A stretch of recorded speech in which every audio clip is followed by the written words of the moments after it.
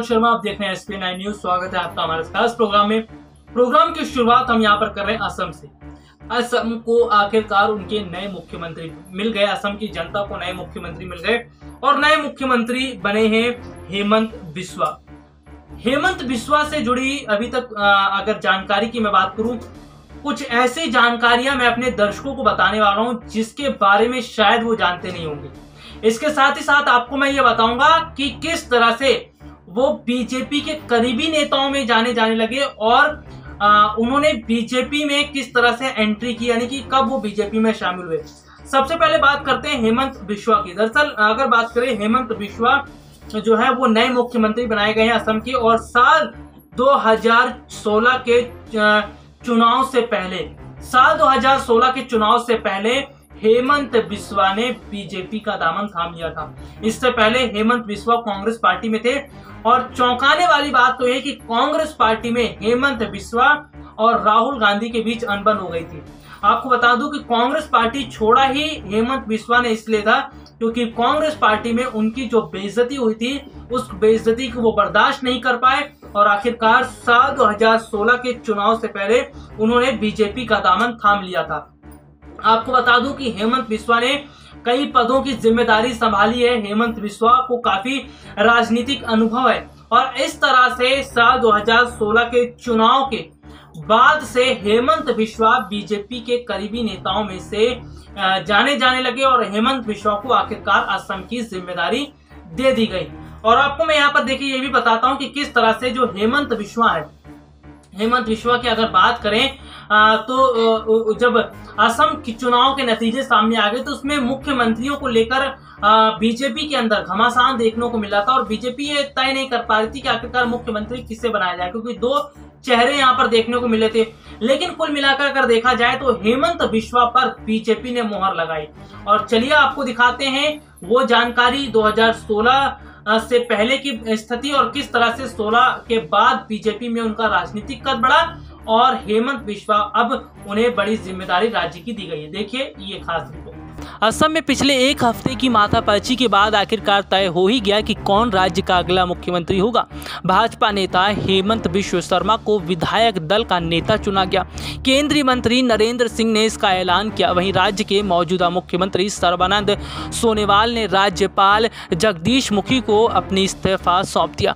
आइए जानते हैं आखिरकार हेमंत बिश्वा शर्मा कौन है और उन्हें पूर्वोत्तर का चाणक्य क्यों कहा जाता है?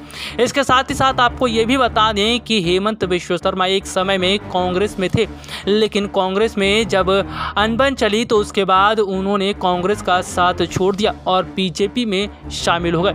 जी हाँ आपको बता दें कि साल 2011 में गोगोई की जीत में हेमंत की बड़ी भूमिका मानी जाती है, लेकिन उन्हें इस बार सरकार में ज़्यादा महत्व नहीं दिया गया। यहाँ तक कि उन्होंने कई बार राहुल गांधी से भी बात करने की कोशिश की थी, लेकिन उसका भी फ़ायदा उन्हें नहीं मिला। अगर देखने को मिला कि कांग्रेस पार्टी में जिस तरह से उनका अपमान हुआ और ये बात हेमंत विश्व शर्मा बर्दाश्त नहीं कर पाए, सबसे बड़ी बात तो यह है कि हेमंत विश्व शर्मा को जिस तरह से कांग्रेस पार्टी में अपमान सहना पड़ा, यही बात देखकर हेमंत विश्व शर्मा ने पार्टी का साथ छोड़ दिया। आपको बता दें कि हेमंत विश्व शर्मा बीजेपी के करीबी नेताओं में से एक माने जाते हैं।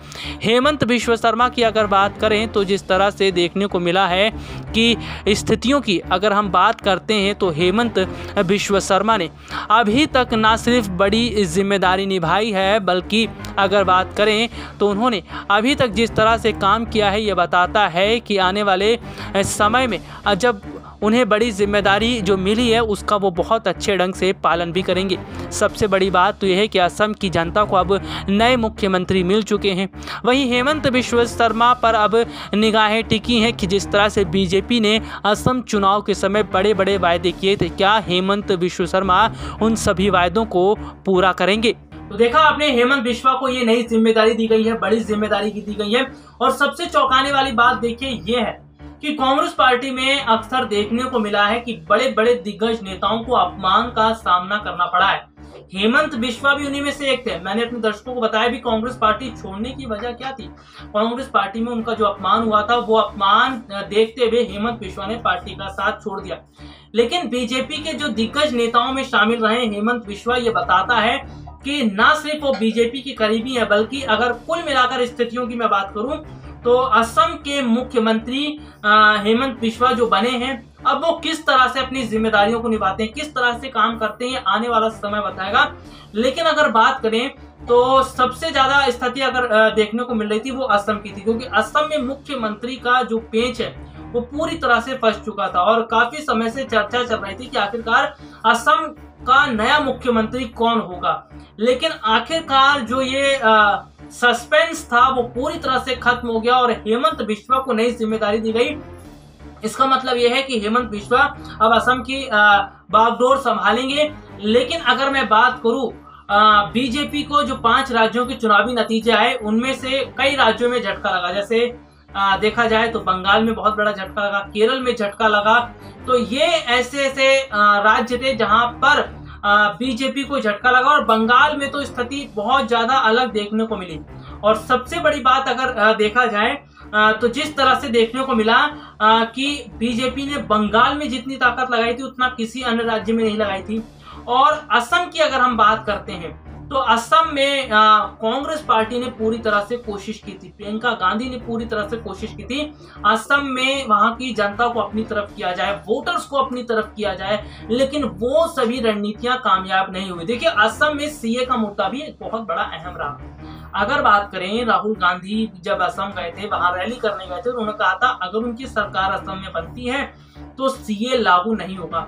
लेकिन लगता है राहुल और प्रियंका जो वायदा कर रहे थे, जो बातें कर रहे थे, उसका कोई फ़र्क चुनावी माहौल में दिखाई नहीं दिया। खासतौर पर असम की जनता पर इसका फ़र्क नहीं पड़ा और असम की जनता ने सीधे तौर पर बीजेपी का समर्थन किया। और ऐसे में अब नए मुख्यमंत्री की कमान हेमंत बिश्वा संभाल रहे हैं और देखते हैं कि हेमंत बिश्वा असम को किस तरह से आगे और बेहतर ढंग से ले जाएँगे। हालाँकि बीजेपी ने चुनाव के समय बहुत बड़े बड़े वादे असम को लेकर किए हैं।